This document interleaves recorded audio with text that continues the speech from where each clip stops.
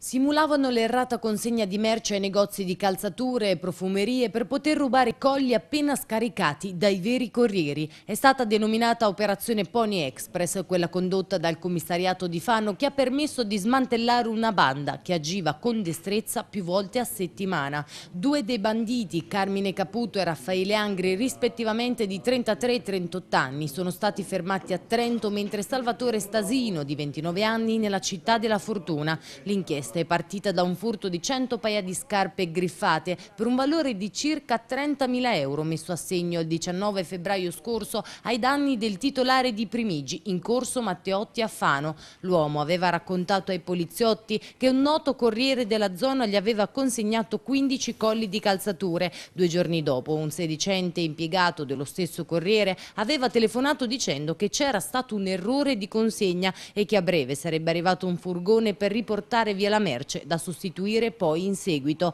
Alcuni minuti dopo un furgone con le stesse insegne e colori uguali a quelle del primo automezzo aveva ritirato il tutto. Trascorsi alcuni giorni nell'inutile attesa delle nuove scarpe, il negoziante si è rivolto alla polizia coordinata da Stefano Seretti. Dalle indagini si è scoperto che dei furti identici erano stati denunciati anche in Emilia, in Lombardia e in Trentino Alto Adige. Queste persone arrestate sono a fanno parte di una banda specializzata proprio nel commettere furti seriali in tutto il centro nord Italia con destrezza, nel senso che riuscivano a ingannare i commercianti e a farsi consegnare numerosa merce appena consegnata dai veri corrieri. Si fingevano appartenenti a dei, a dei corrieri che consegnavano quindi la merce riuscivano con degli stratagemmi molto, mm, molto elaborati a farsi poi riconsegnare la merce e quindi poi la piazzavano nei loro canali di vendita ricavandone molti soldi, anche perché il valore della merce asportata in molti casi era superiore anche a 10.000 euro.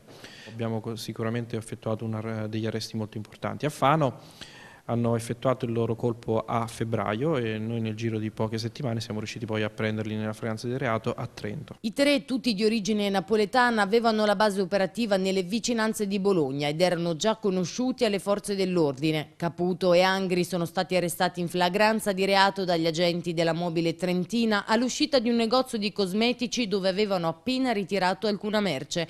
Ora si trovano gli arresti domiciliari. Stasino invece, che in genere faceva da autista, è stato stato bloccato a Fano. Lui è stato denunciato in stato di libertà. Ora le indagini proseguono per verificare l'eventuale presenza di una talpa all'interno dell'organizzazione delle spedizioni, visto che malviventi colpivano subito, nel giro di uno o due giorni, dalla vera consegna. Sempre per cercare ulteriori indizi, il questore Antonio Lauriola invita gli esercenti vittime di truffe a denunciare sempre l'accaduto. Certamente, noi in base alla denuncia poi sviluppiamo tutta l'attività investigativa così come è nata questa operazione, da una denuncia fatta a Fano con l'importanza all'interno della videosorveglianza che ci ha dato degli elementi essenziali per, per l'indagine e poi si è sviluppata in ambito nazionale. Diceva che grazie alle immagini registrate dalle telecamere a circuito chiuso spesso le indagini vanno a buon fine. Sono essenziali e vanno sempre a buon fine, sempre. Da che ho esperienza investigativa sono sempre andate a buon fine.